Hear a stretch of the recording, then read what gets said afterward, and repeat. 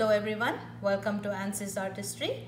Today I'm going to be showing you how to do a split base Dutch pour and today's colors are going to be green and white and I have yellow for contrast. So similar to one of my previous compositions, I would like to have more design on the bottom and just spread out the paint on one side of the canvas. Um, before I start with today's painting, I would like to show you how one of my previous paintings dried.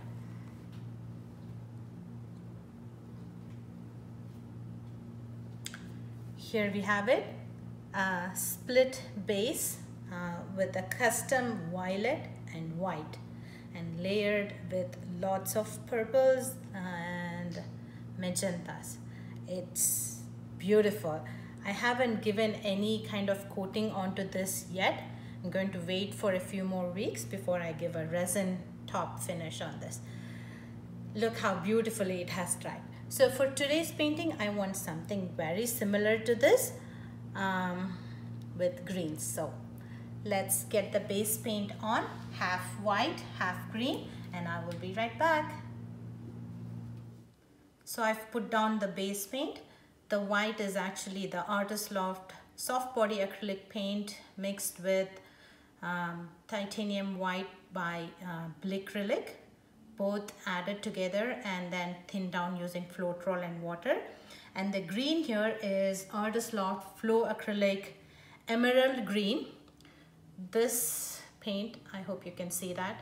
This one and I added few other shades of green um, olive green deep by Amsterdam. I added Artist Loft deep green and then Artist Loft emerald green the tube paint. So I mixed up these colors just to get the shade that I wanted. Um, all the paints have been mixed with Floetrol and water and have similar consistency. Let me show you the drip test that I did before I started this painting. Here we go so I put down two drops of each of the colors that I'm using today and then just tilted the paper to see how uh, equally they flow. So pretty consistent, right? So this is what I check for every time I start the painting just to make sure they have similar consistency. Okay, so for layering, I'm going to be using the same white and then uh, yellowish green by Amsterdam Azo Yellow Deep by Amsterdam and Hooker's Green Hue Permanent by Liquitex. So actually three shades plus white. I'm going to layer down in the middle and then have a little bit more design on the bottom side. Okay, let's get to layering the paints now. Oh, before I do, I have to pop all these air bubbles.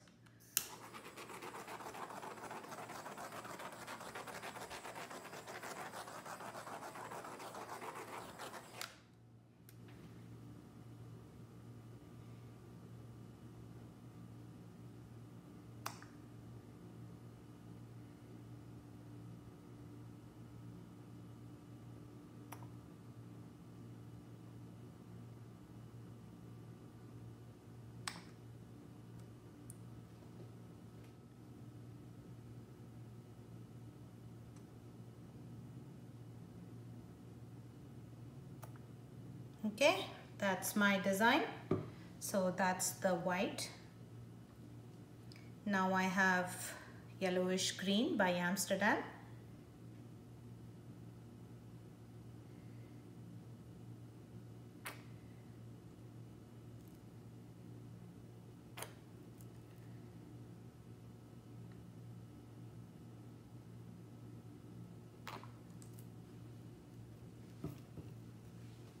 Next, I'm going to be using Azo Yellow Deep by Amsterdam.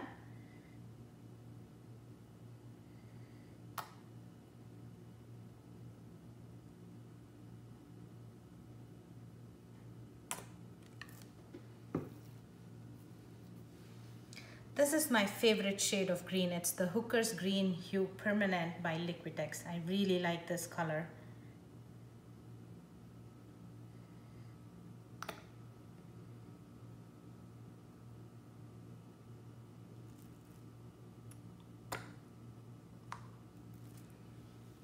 So obviously because it's my favorite shade of dark green, I put it on top because I'm going to be seeing more of it. At least I hope I'm going to be seeing more of it. So uh, done with layering the paints, I'm going to put down a little bit more white. Uh, actually the base paint, so white on this side. And the green on the other side.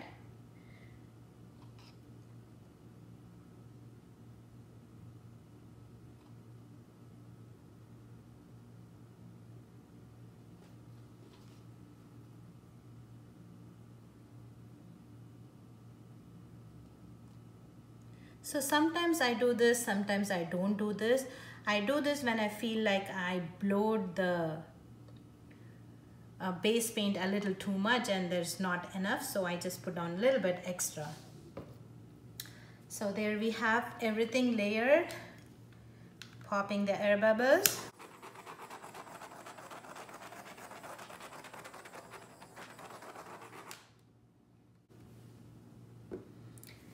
Okay, here we go with the fun part.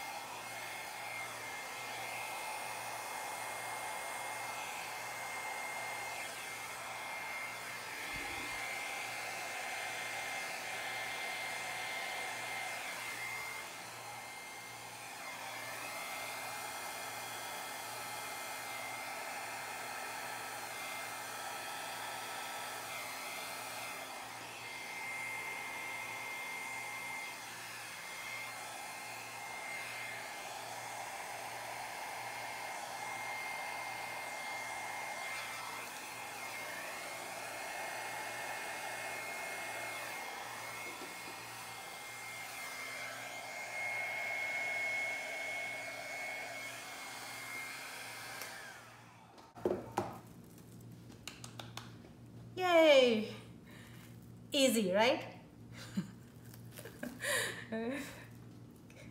I'm just laughing at my own comment. Well, it looks pretty neat. I did want a little bit more green, but it shows up as a little bit more on the yellow side.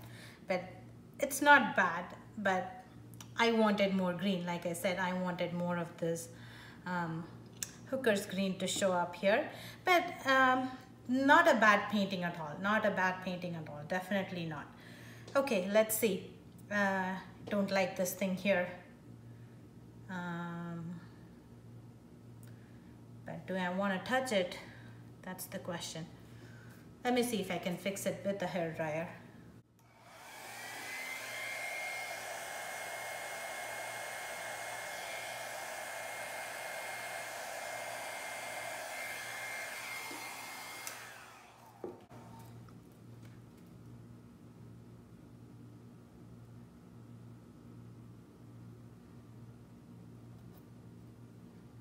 okay that's fixed I'm gonna take out this extra green line here same thing dipping my finger in there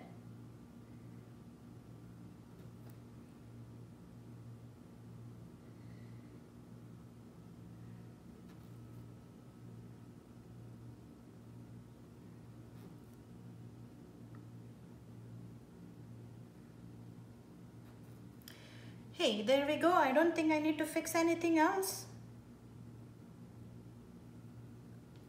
Was a quick painting. I'm still looking to see if there's anything that I want to fix. Apparently, I don't see anything.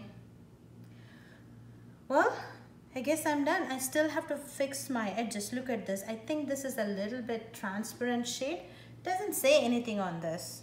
Hmm. But the emerald green tube paint by Artist Loft, that's actually a transparent shade. Um, I have a lot of this base paint mixed up, so all I have to do is just put more around the edges.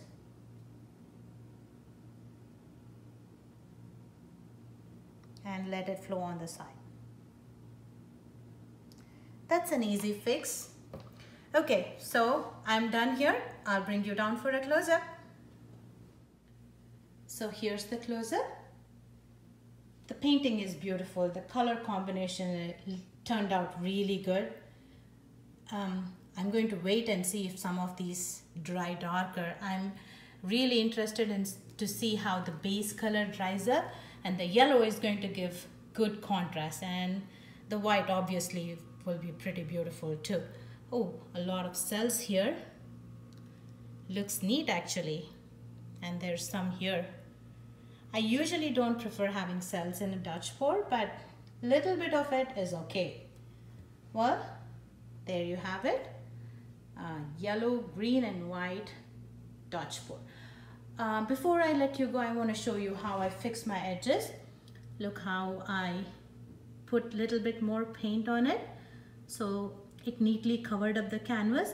I still have to go one more time, look at the edge. That doesn't look good, right? So I have to put more uh, base paint on it to cover it.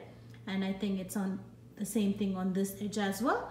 I'm going to show you this side. If you don't put the second layer, how is it going to look? Look at that, right? the canvas is showing over. So the reason for that is because the base paint is transparent. So it just needs more layer. So I could have um, pre-painted this canvas uh, before putting the uh, thin down paint. Just use a brush and paint directly off of the bottle and pre-paint it. I could have done that to avoid this. So now that's out of question here now because I've already finished up with the painting. All I do is put one more layer of the base paint and it'll cover up. And I did this on this side. So see it gives good coverage. So it's not a big deal but you just have to remember to do that and have a lot of base paint mixed up um, even after the painting dries it's better if you save a little bit just for touch-ups in the end don't forget to scrape the edges which I'm going to do right after I send you over well, that's it for today. I hope you have enjoyed this video. Do hit that thumbs up button. I thank you for supporting my art channel. Please do consider subscribing and I shall see you in my next video. Until then, take care. Bye. Happy pouring.